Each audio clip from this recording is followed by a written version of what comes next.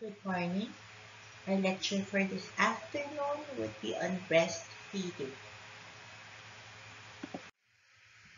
So, for preventive medicine, we will leave the heavy anatomy and the theoreticals of breastfeeding to your other subjects such as pediatrics and obstetrics. So, what we would focus on would be common breastfeeding concerns such as common difficulties and barriers to which mothers stop breastfeeding such as their problems. So objectives for this lecture would be to identify and describe the common breastfeeding difficulties and problems of mothers, to discuss and explain how to manage common maternal breastfeeding difficulties such as inadequate milk, crying, and a baby who refuses to feed. To describe the management of common breast problems such as flat or inverted nipples, sore nipples, engorged breast, and mastitis. To explain the importance of counseling skills in helping mothers with breastfeeding concerns. So, common difficulties. So, what are the most common reasons why mothers discontinue breastfeeding. So they would say, not enough milk. My baby is not being fed enough. Your baby is crying, cannot get milk adequately, and it is easier to place a bottle of milk on the baby's mouth instead of the baby's effort to suck on the nipple. And your breast refusal, especially if you have inverted nipple, your baby refuses to feed on the breast. So how do we address the problems of not enough milk? So mother thinks she does not have enough breast milk. So usually this would be 500 ml to a liter. Baby would not get enough breast milk because of ineffective suckling due to wrong position and mother cannot produce enough.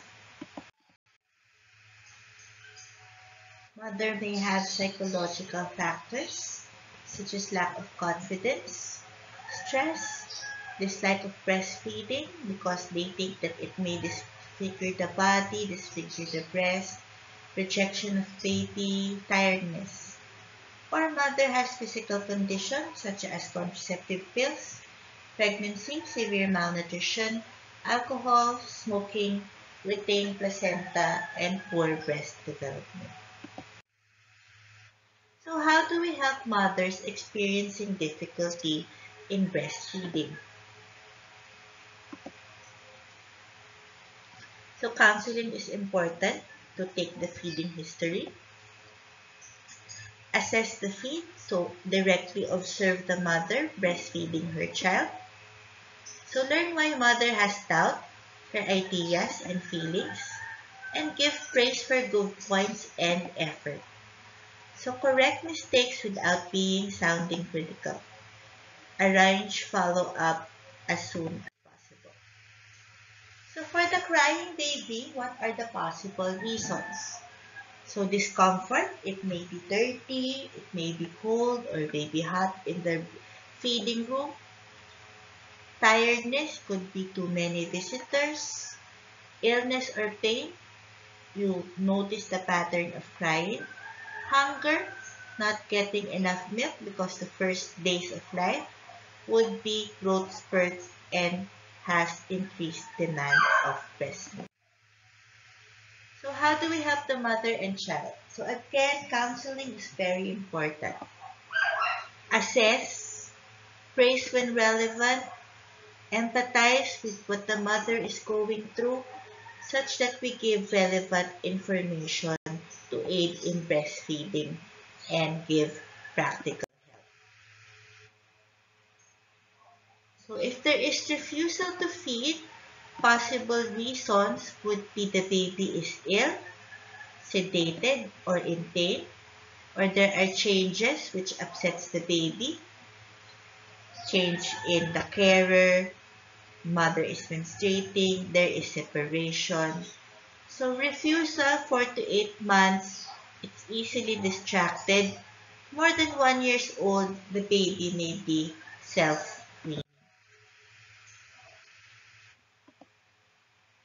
So in summary, so you practice your listening and learning skills.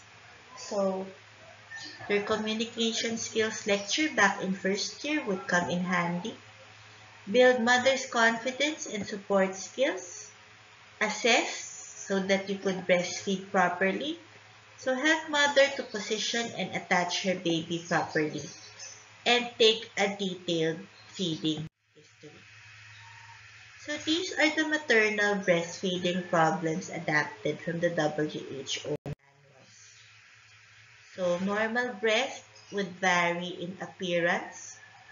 So each woman would have a unique set of breasts and would have different breast forms. So large and small breasts, so it would produce various positions to support her baby. There would be flat or inverted retracted nipple syringe or pump. So you could do cup feeding, but still breast milk, expressed breast milk. So it would simulate that the baby sucks from breast and not from the nipple. So long or big nipple, so use the underarm position. So your C position or cup feeding using expressed breast milk. So reassure that the mother that the baby's mouth will grow but the nipples will not.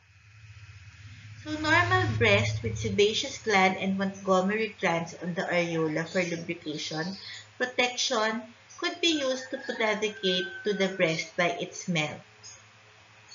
The lower nipple is retracted in presence of scar of previous lesion or operation. Hence, you need to motivate mother to breastfeed because of the Filipino belief that once you undergo breast operation, you cannot make breast milk anymore. On the right side, the size of the nipple does not matter. Test whether nipple is protracted or not. So picture of a protracted nipple. So push the nipple towards the chest wall and if it protrudes, that nipple is protractile. Pull often, especially before feeding time.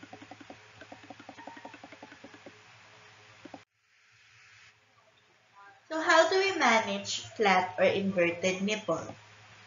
So there's antenatal treatment and counseling for these situations such that we build the mother's confidence. Help mother to position the baby, usually in the underarm position. If baby can't suckle effectively in the first week or two, help mother to try the following. Express the breast milk and feed by cup, or express to soften the breast before attaching to the breast. Syringe method for retracted method. So you pull the plunger to maintain steady, gentle pressure. Do it for 30 seconds to 1 minute several times a day. Push plunger back to reduce suction if there is pain. So what it does is that it draws the nipple out, the retracted nipple out, such that it would be able to be sucked on. Sometimes there would be sore nipples, so due to poor attachment, due to candidiasis, poorly positioned pump, or too much stretching of nipple caused by the pump or the wrong position. So you observe your feeding session and reassure the mother such that you help improve the attachment or positioning. Correct positioning would produce breastfeeding that would not produce any sound. Treat skin condition for candidiasis, either fungal or sore, antibiotics, or any antifungal. Depends on the lesion. So what are the conditions shown here? So this is a full breast. This is how it would look like within few hours after delivery. So hot, heavy, and hard. So it is normal for these patients to experience fever unless breast milk is expressed.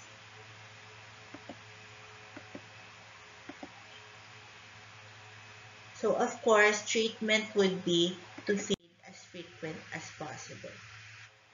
Engorged breast, on the other hand, breast is overfull.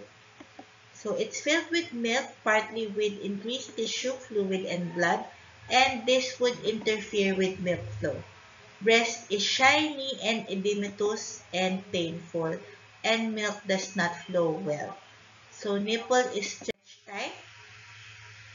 So since the nipple is usually retracted if it is engorged, carry baby in football hold position. Causes and prevention of engorgement. Plenty of milk, delayed starting of breastfeeding, poor attachment, infrequent removal of milk, and restriction of lengths of feeds.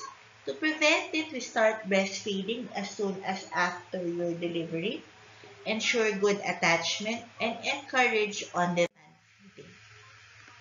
How do we manage? To stimulate the oxytocin reflex, you do the warm compress, massage the back, breast, nipple skin, make the mother relax, take a warm shower or bath, and after feed, put cold compress to help reduce edema. Build the mother's confidence.